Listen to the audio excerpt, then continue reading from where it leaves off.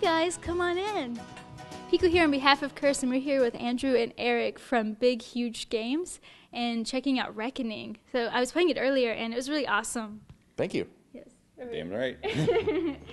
So when people enter this world for the first time, what is the story that they're going to be engulfed in?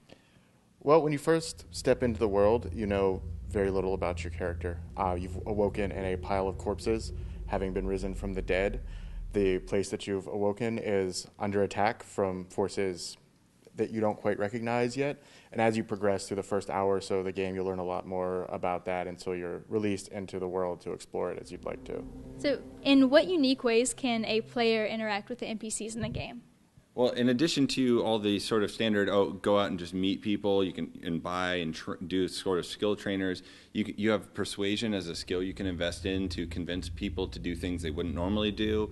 In a lot of our quests, particularly our faction quests, you can choose to side with certain parts of that faction or people within that faction to totally change the way that you know change who's going to end up being in charge or some other quest you can go down and there's one village where you can go and it's being infested by spiders and you can choose am i going to save the village or help ruin the village? And what, what am i going to do? Who's going to be in charge of the village? So you can change what's happening with those people within there.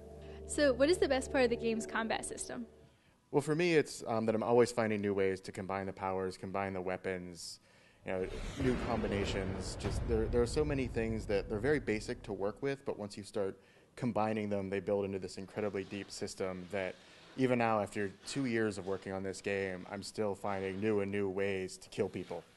Wow. So, you really just enjoy killing people in a variety of ways. It's a hobby of mine. Yes, I do play games, which means I've killed a lot of digital people in my time.